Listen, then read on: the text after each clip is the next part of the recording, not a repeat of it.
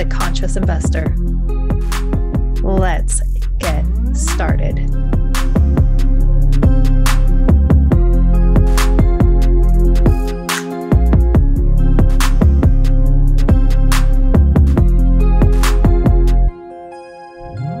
Podcast is now three years old. I cannot even believe that Ask Me How I Know turned The Conscious Investor officially celebrated a third birthday. It is extraordinary. And I just want to thank everybody out there for all of your support over the last three years. And I realized that over the past three years, a lot of things have changed. And the podcast has changed significantly. I've grown and changed. My experience in investing has grown and changed. And I thought that it would be really helpful to um, share a little bit about my own investment journey most of the time on this podcast, I'm busy interviewing other people or sharing about mindset. And I just thought I'm going to take a moment, um, inspired by, quite frankly, a recent, I guess it's a discussion. I, I went and spoke to one of the eighth grade classes in our local town about real estate investing as a potential career choice. And as I was speaking to them, I realized, like, oh, wow, um, I don't think my listeners have heard this. And I think I should take a moment and share the story with them. So, um, really, I'm going to go back in time, but it's not going to it's not going to take long. But I think it's going to resonate with a lot of you because I found so much clarity in what I was what I was sharing with them about my journey, about why I was investing, about why I made career changes. And I've made a lot of pivots throughout my life, and they've all led to this one path. It's really, really exciting. And some of you who've been listening already know that I was an overachiever. I graduated a five year college program in four years and started teaching at 22, 22 years old. They gave me a teaching license and put me in charge of an entire classroom of students. And it was split 50-50 between you know fluent english speakers and not fluent english speakers is absolutely mind-boggling when i think when i see young adults now and and now i'm an old lady so i just call them kids right but i was that kid and now i realize why the adults, you know, the parents were looking at me when I'd meet them at the back to school night and such, like, wow, wait, you're the teacher? Because it definitely looked like I was 12 years old when I started teaching, which is hilarious. But one of the reasons, there are a lot of reasons why I went into education. You know, my dad was a residential real estate agent, as was my grandpa, and my mom was an educator.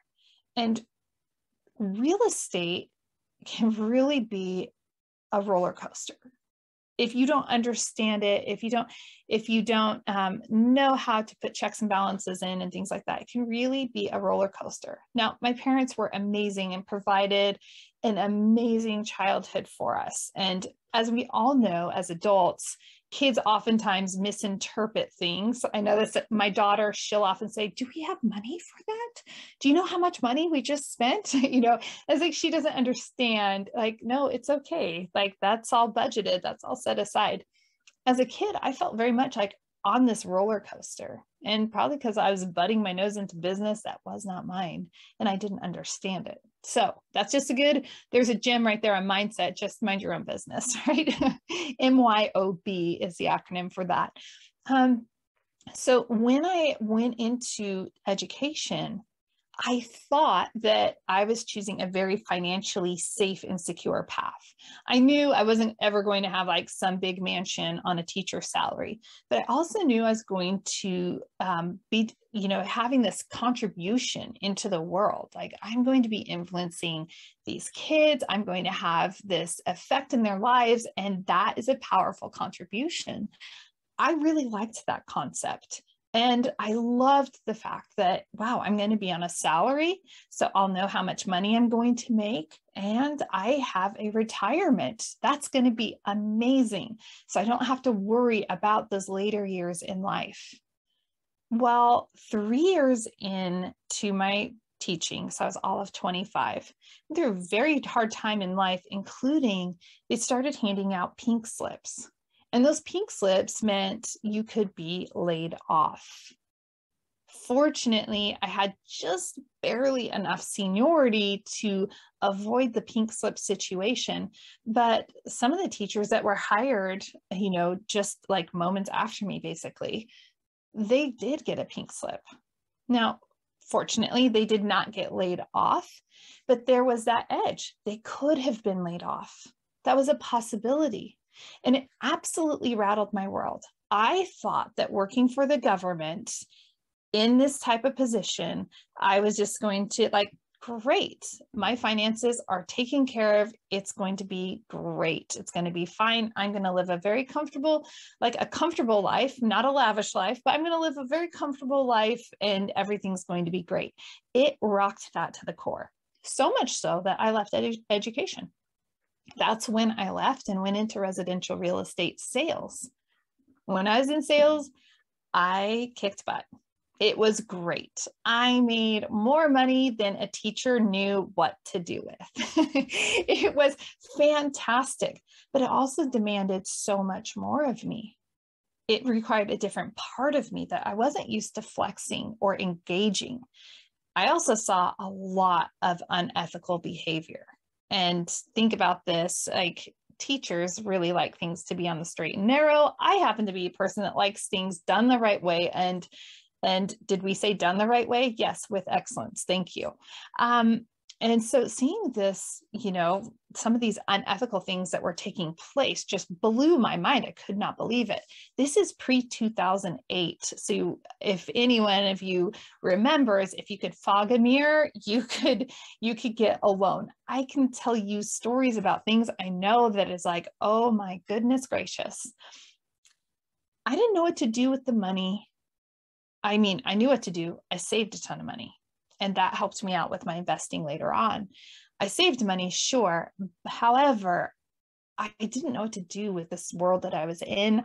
I didn't have any mentors around me. I didn't have people I could turn to that were my my full on guide. My dad was an extraordinary man. If you know, he's like he was my true north and an exceptional um, realtor but he had some practices that I didn't want to have in my business. I really wanted to create systems and processes and and to have things where they flowed really smoothly. But I didn't know how to accomplish that, and I didn't understand that the interest um, intricities I cannot say the word today of that world, and so I wasn't able to really create that. Now there were people that got in at the same time I did, and they figured it out I simply didn't. I, for whatever reason, it's fine. I'm very comfortable with that. But what I do know is that I didn't like who I was becoming. I didn't like that version of myself. She was just ugly. I mean, she had all of this success, but she didn't know what to do with it and how to manage it. And I decided to go back into education. I thought money's great, but there are things I value more than money. And so I went back into education once again, um, only to leave education and go back to it, right? I just have this like really nice hook and loop going on with, um, with public education. But what I was able to accomplish through that is I was able to give myself that permission. And a lot of people hold themselves in a cage like, oh no, I chose this career path. I went to college for this. I have to stay in this path. I am miserable. I don't like it, but I must stay here. And because of my willingness to flex and adapt, and my husband's willingness as well, because we were married at this time, um, to flex and adapt, we've been able to make a lot of these pivots. Um, part of that also was we just chose to live on a shoestring and save money. And and we wanted to build this um, investment portfolio. We thought we would we would build single family houses. Like okay we'll just live this little a modest lifestyle buy nice houses improve them rent them you know and then find another one and basically you know a variation of house hacking. And we'll just like by the time we're retired, we're going to have this little arsenal of single family homes. once we had children and I was managing one of those from across, you know, a thousand miles away, I just felt the insecurity of that. And I got back into that wrestling with, I thought this was going to be a good process. I thought single family houses would be a really good investment. But this feels very much vulnerable and exposed.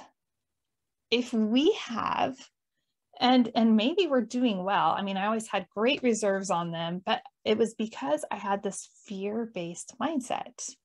I was afraid. Let's go back to why i got into education in my early 20s one of the reasons was fear fear of money. I was afraid and had this um, dysfunctional relationship with money and my mindset about money was dysfunctional so now we fast forward into we have some real estate assets, I'm managing them, and it just feels vulnerable. Wow, if if there was anything major that would wipe out the entire income from that property, boom, gone.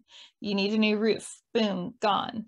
Or you're feeding the reserves, but you're still going to pay out this chunk of money and it's going to affect, you know, what you're making, it just started to feel very much like this, there's got to be a better way. I also don't, I mean, we had amazing, amazing residents every single time, the most exceptional people. Never missed a mortgage, a, a payment, not a mortgage payment, but a, um, a rent payment ever, ever, which is absolutely amazing. And we never had anything terrible happen. But that what if really was unsettling to me when I found apartment syndication, I was um, bored basically i was looking for another way we had decided to sell you know what we had and to wait and invest it in a different way and that waiting made me complacent i don't like money sitting in the bank because even you know a few years ago money sitting in the bank was still not making money and so um as I was, my husband said, you know, you go ahead, you figure it out, figure out what you want to invest in, and then let me know.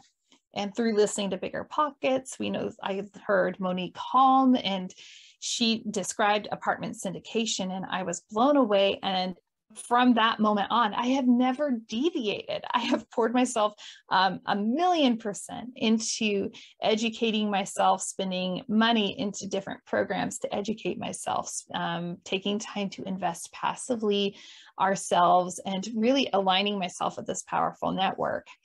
Um, and all that to say, it's been exceptional one of the reasons that I fell in love with this is that business plan. Mm, with residential, single family, I just felt very exposed, as I said, and vulnerable. But through the apartment purchases, especially the larger apartment purchases, it's like it's a business plan. All of this money is allocated. And if we have a vacancy one month, it's already been planned for. And we know when the vacancies are planned to happen we have checks and systems in place for every single thing.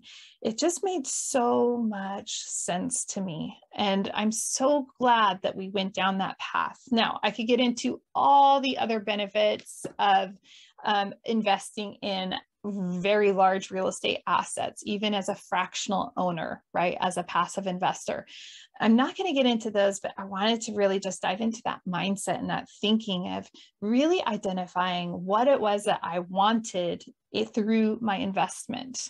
I used to be anti stocks. I'm like, I think the stock market is a racket. I got really upset with the stock market because it was always doing something and I didn't understand it. I like to invest in things that I do understand. Now, I've come full circle and now I understand a true investment portfolio is truly diversified. It's not just one single asset class. And my financial planner at the time, he tried to tell me that. He's like, Julie, you know what? Um, you know, you don't want to put all your eggs in one, one basket, is what he told me. Now, if I'm going to put all my eggs anywhere, I'm definitely going to put them into real estate because I have more control over it. I there is um, more leverage taking place that's predictable and stable. Best of all, though, is that right now, as we are experiencing inflation, those of us involved in large scale apartments um, and real estate, we know that rents and inflation, they are tracking in line. And that's what they've traditionally done. And that's what they're doing now. And so I look at it as this money as a bank, right? And it's like if I go and put my money inside um, the traditional bank down in the, in the town, uh, that money is actually going to be losing money, right? Because there's inflation taking place. It's just sitting there, it's losing. But if I have my money stored in a different bank in this large apartment complex, that money, I can pull it out. I'm going to get distributions off of that, quarterly distributions more than likely off of that.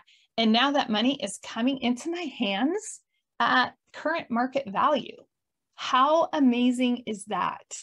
Not only that, the rest of the money is safely just growing or trending with inflation and what is taking place. So many reasons that I love working in this investment space. And I'm so grateful that God showed this to me when He did. Now, it's like frustrating that it didn't happen until I was in my 40s, but all of that life experience really prepared me for where I am now. And I think about even um, you know those people that were doing wrong things you know before the 2008 crash. And just having such being privy to it and never never aligning myself and never participating in it but being being privy to it i was actually a whistleblower on one one occasion because it was wrong. Like you just can't do that.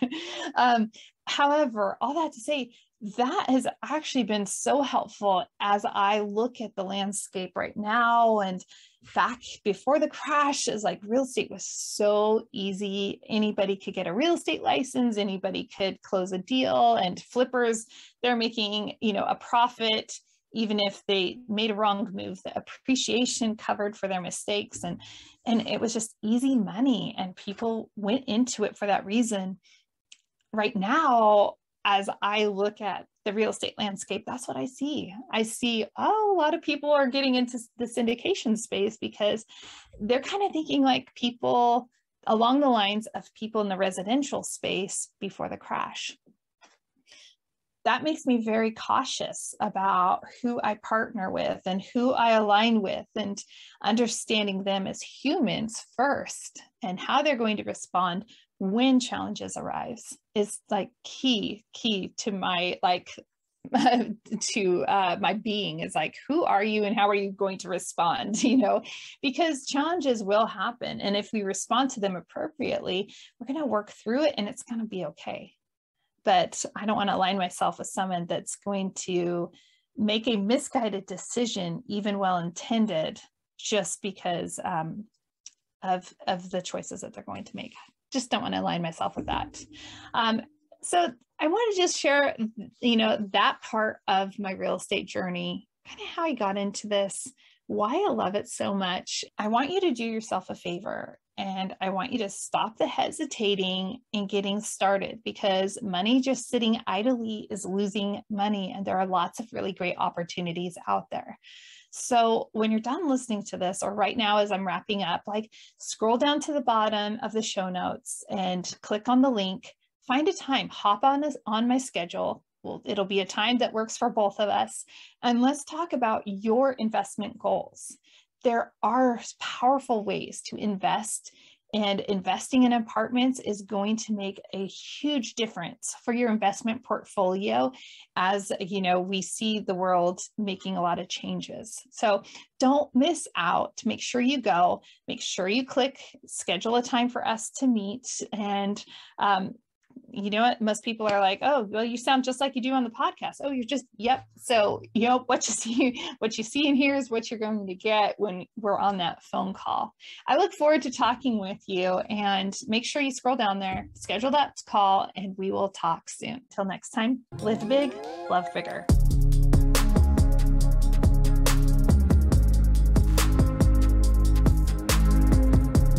What's the big deal about investing in apartments? Why is it better than investing in a slew of single family homes? I've compiled a lot of information on why investing in a multifamily, also known as apartments, will help you reach your investment goals head over to threekeysinvestments.com and download the Why Invest in Multifamily guide today.